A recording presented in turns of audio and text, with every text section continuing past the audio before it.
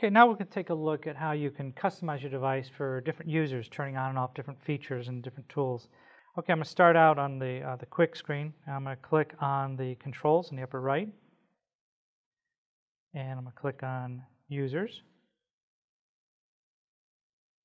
I'm going to click the plus sign to add a user. And here I'll just type my name. All right, and then I'll, I'll leave this window. Okay, now I'm going to click on the Enhance tab, and here's where I've got all my tools. I'm going to take a look at one of the tools I'd like to customize. So these settings I put in here are going to be for my user.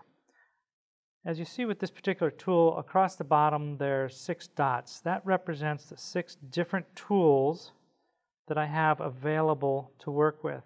Now, some people like to look at their color data in different ways, um, and maybe you don't need as many tools, so we're going to adjust that. So I'm going to click on the little arrow at the bottom here, and I'm going to go to the active functions, and here you'll see the list of all the functions that are available to you. So maybe I don't want to look at just density, maybe I want to look at all densities.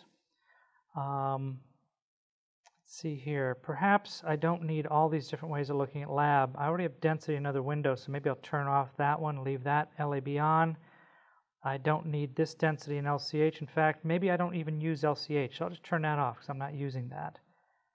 That looks pretty good. I'm going to go with that. So leave that menu. Hit the button at the top to bring it down. Now I've only got three items here.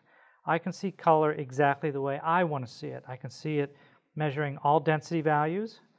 I can look at my LAB and I can look at my best match.